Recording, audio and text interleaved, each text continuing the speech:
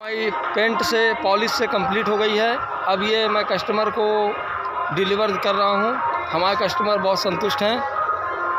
अब इनसे बात करते हैं अपने कस्टमर से कि इनको मेरा वर्क कैसा लगा है। आप बताइए इसमें मेरा वर्क कैसा लगा है। बढ़िया था भैया बढ़िया था। कोई दिक्कत? कोई दिक्कत नहीं। कोई दिक्कत तो नहीं है? कोई दिक्कत नहीं भाई हाँ काम में कोई कमी उमी आपको मिली हो? नहीं नहीं कोई कमी नहीं। ठीक है थैंक यू